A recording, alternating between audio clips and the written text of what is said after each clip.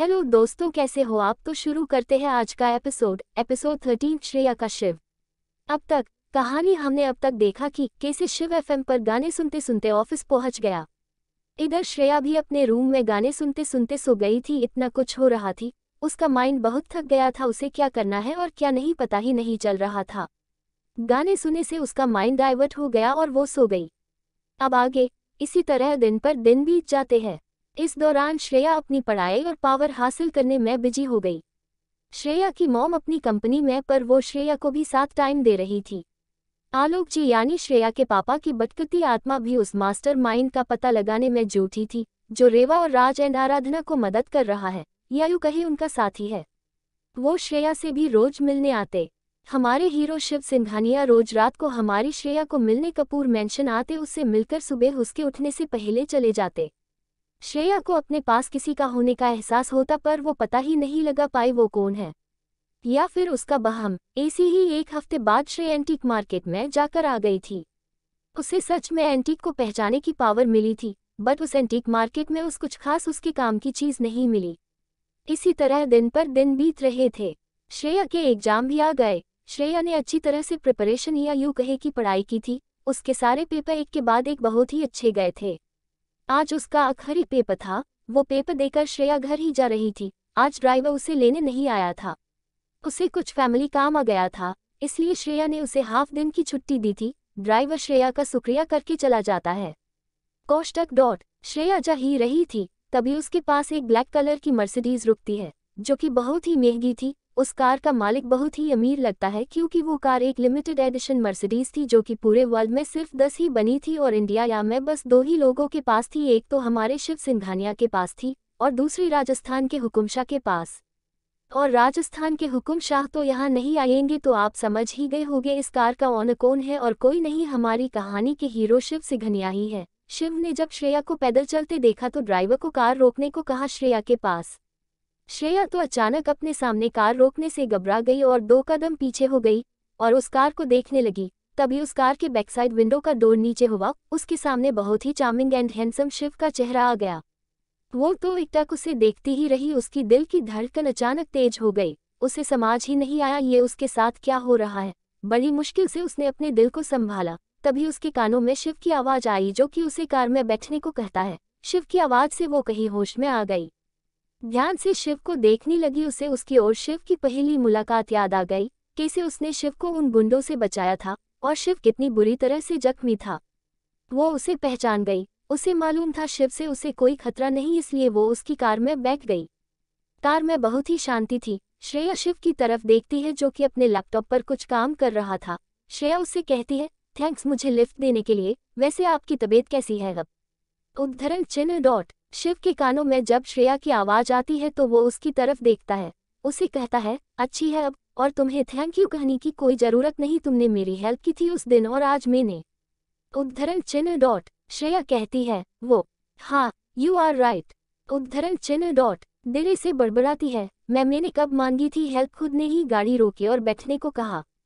अजीब सा मून बनाती हैं। शिव श्रेया को खुद में ही बात बढ़ता देख उसे कहता है, क्या हुआ? कुछ बोल रही हो क्या तुम? जरा ज़ोर से बोलो, मैं भी सुन लूँ। उद्धरण चिन्ह डॉट, श्रेया शिव की तरफ़ देखकर कहती है, कुछ नहीं। उसे अपना पता बताती है, उसे ड्रॉप करने के लिए, उसके सवाल से बचने के लिए। ड्राइवर को तो आज शोक पर शोक लग रहे थे।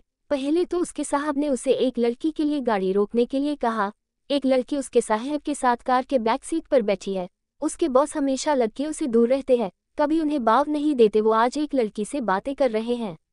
उसका बॉस बस अपनी फैमिली के लिए ही अच्छा था, बाकी ओ के लिए कोल्ड मन या यूँ कहे कि क्रूर इंसान था। पर वो भी प्रोफेशनल ड्राइवर था, वो चुपचाप अपना काम पर ध्यान देता है, यानी कि ड्राइविंग करने पर। शिव एक नज़र ड्राइवर को देखता है तो वो समझ जाता है और अपना सर हिलाकर गाड़ी चलाने लगता है, बीच का पार्टीशन ऑन करता है।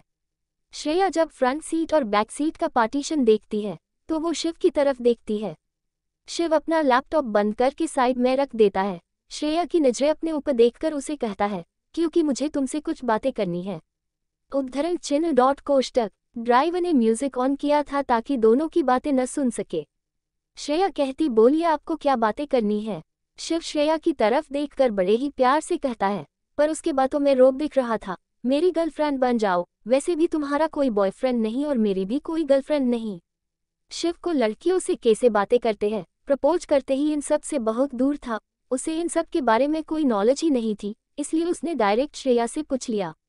श्रेया शिव के yes direct propose I mean girlfriend बनने की बात पर शौक में ही चली गई थी।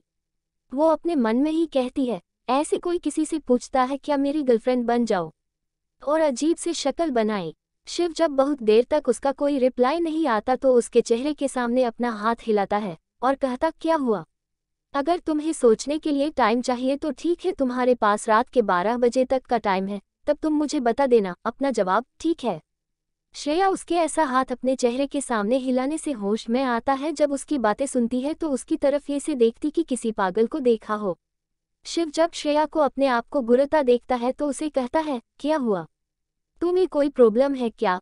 कुछ पूछना है तो पूछ सकती हो। श्रेया उसे कहती है आप ऐसे कैसे डायरेक्ट बोल सकते हो, मेरी गर्लफ्रेंड बन जाओ।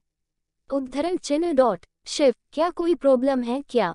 तो फिर कैसे कहना है? तुम मुझे बताओ, मैं वैसे कहता हूँ। श्रेया, मेरा मतलब वो नहीं, अरे, मैं तो आपको जानती ही नहीं, और नहीं आप मेरे बारे में कुछ जानते हो। यहाँ तक मुझे आपका नाम भी नहीं पता, आप क्या करते हो, और आप डायरेक्ट कह रहे हो, मेरी गर्लफ्रेंड बनो, ऐसा होता है क्या बला? शिव तो कैसा होता है? रही बात तुम्हारे बारे में, जाने की तो तुम्हारे बारे में मुझे सब पता है, जितना कि तुम अपने बारे में नहीं जानती उससे ज़्यादा मुझे पता है। तुम्हारा नाम श्रेया मेहरा है। आज तुमने बारहवीं का लास्ट एग्ज़ाम दिया है। तुम सिंगल चाइल्ड हो अपनी मॉम की, तुम कुछ ही महीनों में पूरी अठारह साल की हो जाओगी। इतना ही नहीं तुम्हारे बारे में मुझे और भी बहुत कुछ पता है। जैसे कि तुम्हारा फेवरेट फ़ूड कौन सा है, तुम्हारा फेवरेट कलर ऐसे ही बहुत कुछ। श्रेया उसकी बातों से शौक ही हो जाती है। उसे शिव जट के पे के दे रहा था आज, पर वो उसे बीच में ही रोक के कहती है, एक मिनट आपको मेरे बारे में इतना कुछ कैसे पता? क्या आप मेरी जासूसी कर रहे थे, और आप है कौन? शिव को अपनी बातों के बीच में किसी का टोकना पसंद नहीं था, अगर किसी ने ऐसा किया तो समझो, शामत आ गई उसकी, बट अभी श्रेया ने उसे रोका था, जिसे वो अपने दिलोजान से मोहब्बत करता था, उसे किसे कुछ कर सकता है? कौष्टक डॉट, देखिए सारी दुनिया को पता है ये कौन है, और हमारी श्रेया को तो कुछ पता ही नहीं वैसे सारी दुनिया को बस शिव सिंघानिया का नाम ही पता है। उन्हें किसी ने नहीं देखा था, वो बस उसके बिज़नेस पार्टनर को छोड़कर, वो सारी लाइमलाइट से दूर ही रहता। पूरे सोशल मीडिया पर उसकी एक भी फ़ोटो नहीं था। अगर गलती से किसी ने ढाला तो वो भी डिलीट किया जाता था। आखिर इतना बड़ा बिजनेसमैन जो था। तो श्रेया को भी उसके बारे में पता था, पर वो कैसा दिखता है ये नहीं पता था। जिससे वो बात कर रही है, वो और कोई नहीं। The great business tycoon Shiv Singhania है। जब वो ये जानेगी तो पागल ही हो जाएगी, क्योंकि अपने पिछले जन्म में वो उसकी बहुत बड़ी फ़ैन थी। आखिर वो भी तो बिज़नेस मैनेजमेंट कर रही थी, और शिव था एक फ़ेमस बिजनेसमैन उसके बिज़नेस में लिए हुए डिसीज़न उसकी बिज़नेस स्ट्रेटजी उसके बिज़नेस करने का तरीका, उसने अपनी कबीलत पर अपना बिज़नेस कहाँ से कहाँ लेकर पहुँचा दिया था। सब श्रेया को बहुत पसंद था, वो उसके जैसे ही बड़ी बिज़नेस वूमेन बनना चाहती थी। शिव सिंघानिया पिछली लाइफ में श्रेया को आइडियल था और अब भी है। इसमें कोई शक ही नहीं, वो उसके हर एक अपडेट पर नज़र रखती थी। शिव श्रेया की बातें सुनकर एक बार उसकी तरफ़ गौर से देखता फिर उसे कहता है, मेरे लिए तुम्हारे बारे में जानना इतना भी मुश्किल नहीं था। मैंने तुम्हारे बारे में उसी दिन पता लगाया था जब तुमने मुझे बचाया था। और मुझे उसी दिन तुम पसंद आ गई थी। मुझे ज़्यादा बातें करना नहीं आता इसीलिए मैंने तुम्हें अपनी गर्लफ्रेंड बनने को कहा।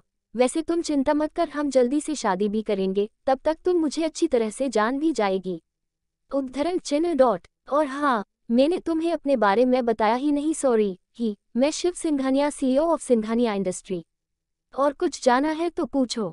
श्रेया पहले तो उसकी बातें ध्यान से सुन रही थी, पर जब वो अपना नाम लेता है तो वो हैरानी और खुशी के मिले जुले भाव से उसकी तरफ़ देखती है। पर अगले ही पल शिव के ऊपर शक करते हुए कहती है, क्या आप सच में the great business tycoon Shiv Singhania हो? उद्धरण चिन्ह डॉट नहीं नहीं, आप ज़रूर झूठ बोल रहे हो। मैं कैसे इस बात पर भरोसा करूँ, किसी ने उसे देखा भी नहीं और नहीं सोशल मीडिया पर कोई फ़ोटो तो फिर मैं किससे पूछूँ कि आप सच बोल रहे हो? ये सब अपने आप में ही बढ़ती है। आखिर श्रेया की बात भी सच थी। आखिर वो किसे इस बात से यकीन कर जिसे किसी ने नहीं देखा? वो मीडिया के सामने कभी नहीं आता तो भी उसकी फ़ोटो उन्हें पब्लिश करने की परमिशन नहीं थी। अगर किसी ने पोस्ट भी करी तो अगले सेकंड वो गायब हो जाती तो फिर शिव के खुद को इंट्रोड्यूस करने से उसे उस पर भरोसा ही नहीं हो रहा था। और तो और वो उसे अपनी गर्लफ्रेंड बनने को कह रहा है। शिव को श्रेया की बातें सुन के अब अपनी पहचान दुनिया के सामने छुपा के रखने पे पछतावा हो रहा है, पर वो भी तो अब क्या कर सकता, बस श्रेया को अपनी बातों पर यकीन दिलाने के अलावा वो अपना सिर हिलाता है। शिव उससे कहता है, तुम्हें किसी से पूछने की ज़रूरत ही नहीं। उद्धरण चिन्ह डॉट, इतना कहकर शिव अपने पॉकेट से उसका बिज़नेस कार्ड जो कि गोल्ड का था वो निकलकर उसके हाथ में पकड़ाकर कहता है, अब तो तुम्हें विश्वास हो जाएगा क्या? या और भी कुछ पूछना है या और भी कुछ एविडेंस चाहिए कि मैं ही शिव सिंगानिया ही हूँ। उद्धरण चिन्ह डॉट कोष्टक, खुद से ही कहता क्या देना गए खुद की पहचान के लिए एविडेंस देना पड़ रहा है।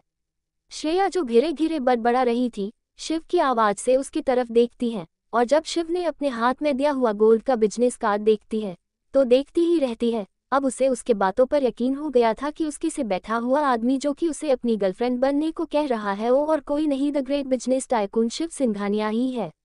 वो शिव को अपनी चमकती आँखों से देखती है। आखिर वो पहले बार अपने आइडियल को देख रही या यूँ कह मिल रही है? और इससे भी बड़ी बात वो उसे अपनी गर्लफ्रेंड बनाना चाहता है। वो उसे पसंद करता है। उसे तो ऐसा लग रहा है कि वो चाँद पर पहुँच गई हो। श्रेया शिव को हाँ कहेगी या ना? आज के लिए बस इतना ही फ्रेंड्स फिर मिलते हैं स्टोरी के अगले एपिसोड में। टैब तक देखते हैं क्या होता है अगले एपिसोड में। फ्रेंड्स आपको स्टोरी कैसी लग रही प्लीज़ कमेंट करना। अच्छी लगी हो तो वीडियो को लाइक करो एंड चैनल को सब्सक्राइब भी करो। यार, सिर्फ़ देखा कर छोड़ देते हैं। मिलते हैं कल एक न्यू एपिसोड के साथ।